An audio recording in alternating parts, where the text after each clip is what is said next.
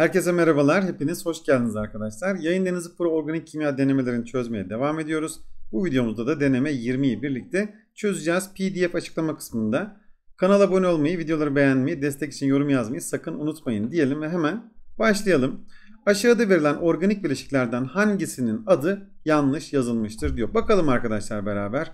Burada etil metil keton demiş. Etil metil keton şeklinde adlandırırken bakın biz ne yapıyoruz? Buradaki karbon grubunu bölüyoruz arkadaşlar. Bir tarafında ne var? Gördüğünüz gibi etil var. Bir tarafında gördüğünüz gibi metil var. O zaman etil, metil, keton tabii ki doğru bir ifade olmuş oluyor. Diğerine bakın 2 metoksipropan demiş arkadaşlar. Bakın burada yupağa göre bir adlandırma yapmış. Uzun zincir burası olduğu için 1, 2, 3 şeklinde numaralandırmış. İkinciye bağlı gördüğünüz gibi bir metoksi bağlı. 2 metoksipropan yupağa göre doğru bir isim olmuş oluyor. Üçüncü bileşiğimizde T bütil alkol diyor. Arkadaşlar bakın burada alkil grubu olarak düşünmüş. Buradaki 4 karbonlu R grubunu. Peki gördüğünüz gibi buradaki karbon üçüncül olduğu için yani tersiyer olduğu için terbütil alkol ya da T-bütil alkol diyebilir miyiz? Aynen öyle arkadaşlar deriz. Hemen şunu hatırlayalım isterseniz. 4 karbonlu olduğu zaman eğer ikinciden bağlıysa bunun adı ne oluyordu? S-bütil alkol oluyordu. Ve yine bakın şöyle buradaki izobutana buradan bağlıysa o zaman da bunun adı ne oluyordu? İzobütil alkol oluyordu. Bunları çokça karıştırabilirsiniz. Lütfen dikkatli olun. Ters yerden bağlıysa da bu ne oluyordu? Terbütil alkol diyorduk. Burada bir aldehit bileşiği var arkadaşlar. 1, 2, 3 şeklinde adlandırırız. İkinci de bir metil olduğu için 2 metil propan ne olması gerekiyor? Al olması gerekiyor arkadaşlar. Propan 10 değil. Propan al olması gerekiyor. Cevabımız gördüğünüz gibi D seçeneği. En altta bakın 1, 2, 3 karbonlu. İkincide bir metil var. 2 metil ana zincirimiz propan oik asit. Dolayısıyla bu da nedir? Doğrudur. Cevabımız gördüğünüz gibi D seçeneği. Bakalım ikinci sorumuzda ikinci periyot elementi olduğu bilinen A atomu ile hidrojen atomu arasında oluşan bir molekülle ilgili bilgileri veriliyormuş. Bakalım ne anlayacağız? Lewis yapısında merkez atomda bir çift ortaklanmamış elektron vardır. Arkadaşlar bakın ikinci periyot elementlerini şöyle hızlıca bir hatırlayalım isterseniz şurada. Önce ne vardı? Berilyum vardı. İki tane bağ yapar üzerinde elektron çifti yok. Bor var. Üç tane bağ yapıyor üzerinde elektron çifti yok. Karbon var 4 tane bağ yapıyor üzerinde elektron çifti yok. Bu bağlar ikili olabilir, üçlü olabilir ama üzerinde elektron çifti yok. Azot ise bakın 3 tane bağ yapıyor. Üzerinde arkadaşlar bir elektron çifti var. Oksijen bakın gördüğünüz gibi 2 tane bağ yapıyor. Üzerinde 2 tane, 2 çift daha doğrusu ortaklanmamış elektron var. O zaman burada bir çift dediğine göre demek ki arkadaşlar bizim burada hangi molekül anlamamız gerekiyor? Azotun hidrojenle oluşturduğu NH3 molekülünü anlamamız gerekiyor. NH3 ikinci bilgi okumamıza bile gerek kalmadı gördüğünüz gibi. Gördüğünüz gibi üçgen piramit şeklindeki polar bir bileşiktir.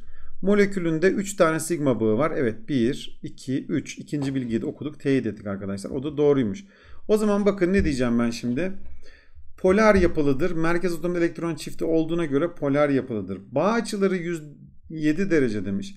Normalde bakın karbonda 109,5, amonyakta 107, sudayız arkadaşlar 104,5. 2,5 2,5 azala azala geliyor. Yani bu da doğru bir ifade.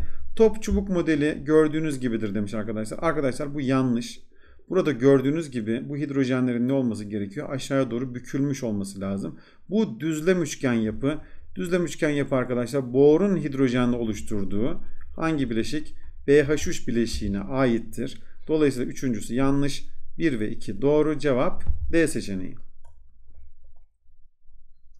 Hemen üçüncü sorumuza bakalım. Aşağıda karbon içeren bazı maddeler ve elektriksel iletkenlikleri verilmiştir. Yukarıda verilen maddeler ve iletkenlikleri ile ilgili bilgilerden hangileri doğrudur? Grafitin elektriksel iletkenliği var. Biz ne diyoruz arkadaşlar? Metaller elektrik akımını iletirken ametaller grafit hariç iletmez diyoruz. Yani ametallerden tek elektrik akımını ileten grafittir diye bunu da ifade ediyoruz. Dolayısıyla grafitin elektrik iletkenliği var. Elmasın yok. Elmas'ta çünkü pi bağı yok. Karbonlar sp3 hibritleşmesi yapmış. Her karbon 4 tane tekli sigma bağıyla birbirine sıkı sıkı bağlı elektrik iletkenliği mümkün değil.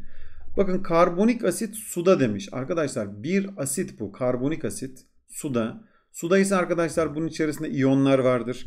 İyonlar varsa da elektrik akımını iletir diyoruz. Cevabımız E seçeneği.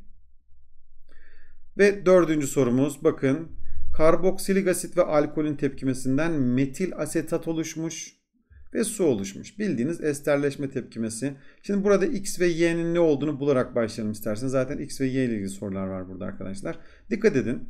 Bunu nereden anlıyoruz biz? Buradaki ester bileşine bakarak anlıyoruz. Bakın şuradaki oksijenden böldüğümüz zaman oksijenin sağ tarafında kalan daha doğrusu alkil olan kısım alkolden gelen kısımdır. Sol tarafındaki kısım ise arkadaşlar nereden gelir? Asitten gelir.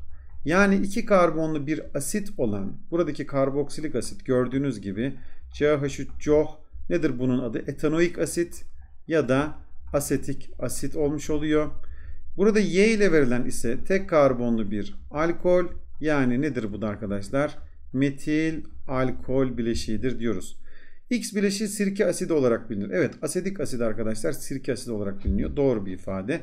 Y bileşiği en küçük monoalkol demiş. Evet gördüğünüz gibi Y tek karbonlu bir alkol olduğu için en küçük monoalkoldür. Bu da doğru. Tepkimede formik asit ve etil alkol kullanılsaydı da aynı ürün oluşurdu demiş. Yapalım mı onu? Bir deneyelim mi? Arkadaşlar formik asit bu. Bakın şöyle yapalım formik asidi. Ve ne olsaydı etil alkol diyor. O da onu da şöyle ters yazalım. Şöyle CH2 CH3 hani birleştikleri yeri göstereceğiz arkadaşlar. Buradan birleşiyorlar. Buradan bir tane su çıkıyor. Bakın lütfen oluşan bileşik acaba aynı bileşik mi? Şöyle CH2 CH3. Arkadaşlar bu da 3 karbonlu bir ester bileşiği. Bu da 3 karbonlu bir ester bileşiği. Bu ikisi birbirinin izomeri kapalı formülleri aynı. Ancak tabii ki farklı bileşikler.